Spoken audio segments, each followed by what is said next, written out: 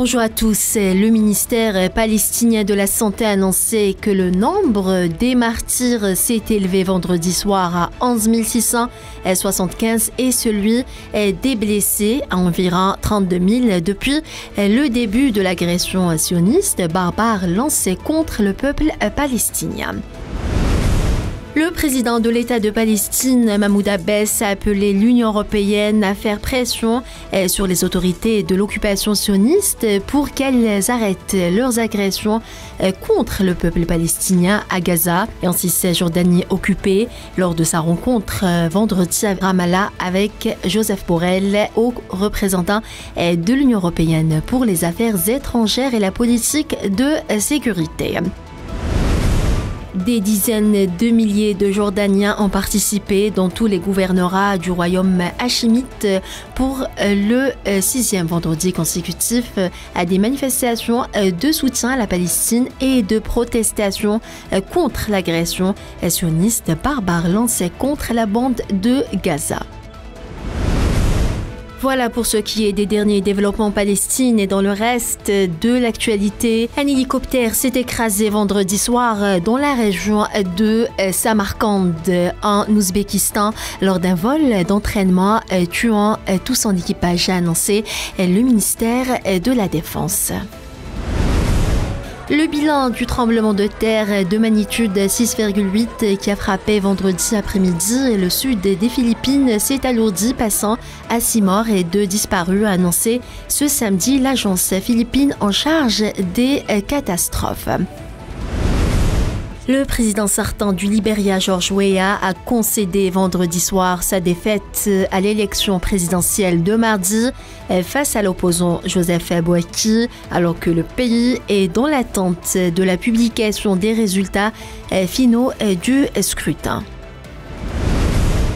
Des militants de la société civile congolaise ont annoncé hier à Kinshasa une mission d'observation électorale autofinancée disant craindre des fraudes lors de la présidentielle du 20 décembre prochain.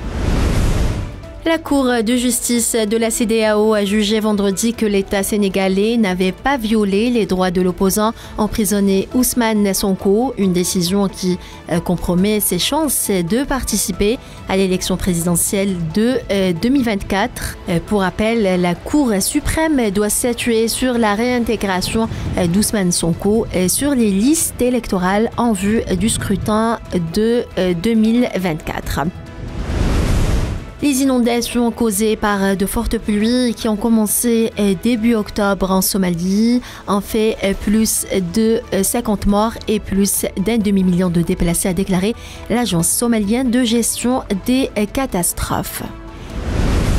Les milliers d'enfants de familles qui ont fui le Soudan en guerre pour se réfugier au Tchad sont dans un état de malnutrition sévère inquiétant, s'alarme Médecins sans frontières dans un communiqué qui appelle à une aide alimentaire d'urgence.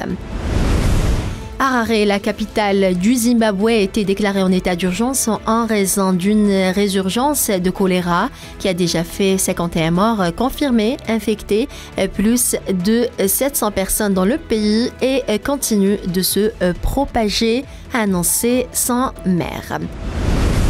Trois personnes ont été arrêtées dans l'enquête sur l'homicide d'un photojournaliste retrouvé mort jeudi dans le nord du Mexique, a indiqué le parquet. Deux des trois suspects étaient en possession des téléphones portables d'Ismaël Vilgomez, assassiné à Ciudad Juarez, à la frontière des États-Unis, a ajouté le parquet de l'État du Chihuahua. Et puis la procureure qui instruit le dossier contre Donald Trump dans l'État américain de Géorgie a proposé vendredi que le procès de l'ex-président et ses 14 co-prévenus s'ouvre le 5 août 2024 pour manipulation illicite visant à inverser les résultats de l'élection 2020. Voilà, c'est la fin de ce bulletin d'information. Merci à vous tous de l'avoir suivi et à demain.